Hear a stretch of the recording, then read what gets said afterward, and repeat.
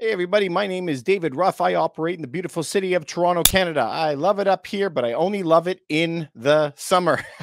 I hate most of the winter. We have four months of good weather, about four months of like, eh, okay weather, and four months of hell where the air is freezing your face off. But we learn a lot of stuff when we're up here. But we also know that we want to be able to get out of the matrix and be able to go somewhere where it's warmer. And rent is going to the moon. So, what are we going to do about it? What does it tell us about the economy? And how can you make money off of this? That's the most important part where we're going to be building revenue streams on a daily basis. So, let's jump straight into the articles of the day.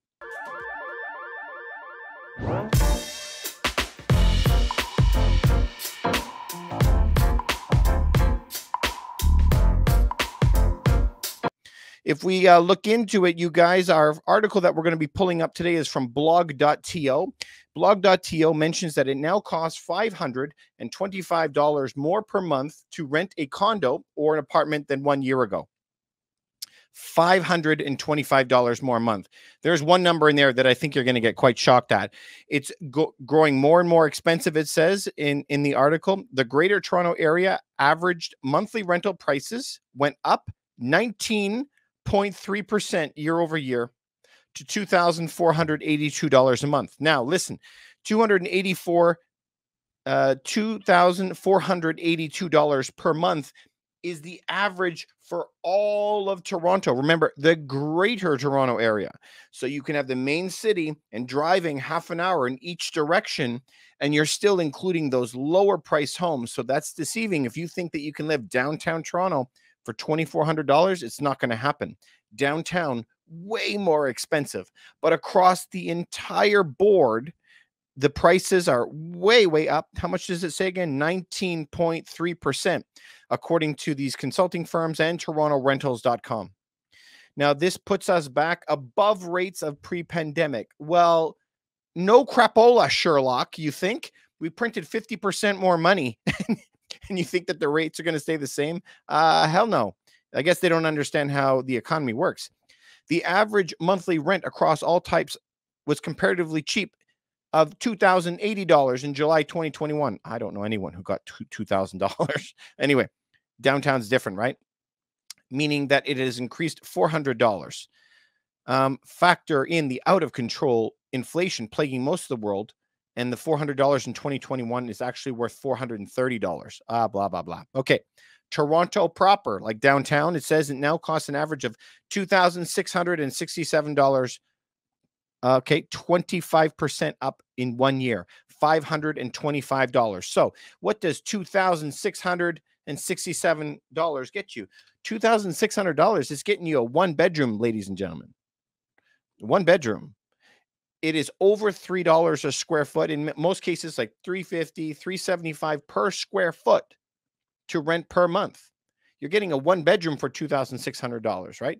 And if you want any more you need to have kids or something prices are going to go up even higher than that. Um, now here comes the uh, really big hit and 3% increases in a month in may 3% in june 3% in july Holy man, crazy. Okay, now look at this number, guys. Tell me if this doesn't sh- shock you. The M5V postal code in Toronto's entertainment district and King West neighborhoods recorded an unbelievable 43% increase to a Manhattan esque $3,200 per month. I don't know if if if that doesn't shock you to your very soul to to see a number that big. Uh, 43%. This is uh, mind blowing. I've never seen anything like that ever. So you should have a 43% increase in rent over 10 years. And it's happened in 12 months. Mind blowing. And so this is going to hurt a lot of people, right? So if we if we jump back into the article, uh, this is again blog.to. You can find it um, for real estate Toronto and just search up $525 a month increase. If you do something like that, um, it says that uh, outsized rent creases over the next few months, attributing price growth projections to further interest rate hikes coming. Why would the increase of interest rates increase the demand for rentals. Why?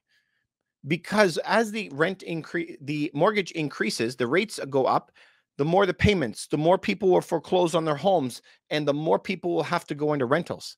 I mean, how do you uh, how do you live? Okay, so you either can buy a house and have a mortgage, you can either rent a place, or you can live in a cardboard box. Okay, those are your three choices: buy, rent, and live in a box. Choose. And so when everybody can't afford their mortgages, you're in big trouble. Family member has a $500,000 mortgage on a tiny, tiny, tiny little unit. His payments are up over $600 a month. The average house in Toronto is 1.2 million with a mortgage of around 1 million. Their payments are up almost $1,200 a month. Nobody has that money sitting around. So as the months wear on and people's emergency funds are getting depleted down and down and down, they will be forced to maybe let go of their home and move into a rental.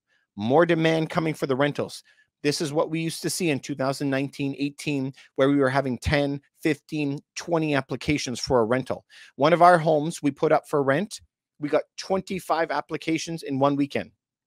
25. So this is where the demand for rentals is going to continue to go up. What is the cure for this? The real cure for this is to have landlords in a friendly place to move in. We've seen this play out in many, many different cities, in many different countries, many different jurisdictions.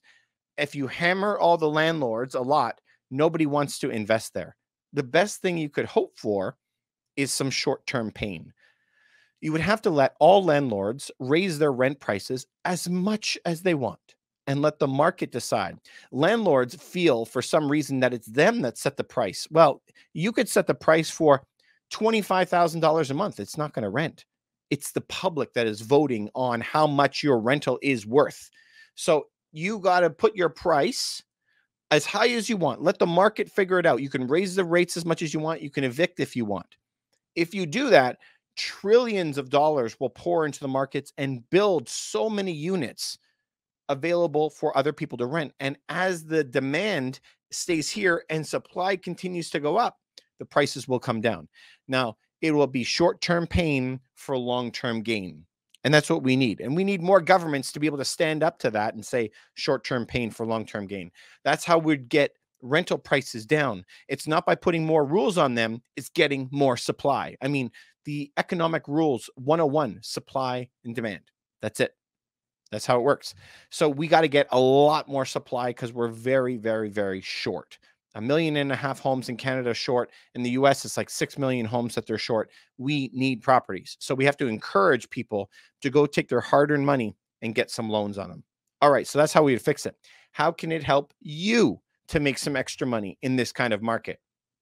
Depends what kind of home you're in if you are always looking for the type of property that is really good, good demographics moving into the country or into the city, wherever you're going to buy, we want to make sure there's a lot of young people, it's healthy, a lot of different streams. Never buy in a city like, let's say, Sault Ste. Marie or something that has one metal mill where my mom grew up. And if that place closes down, the whole city shuts down.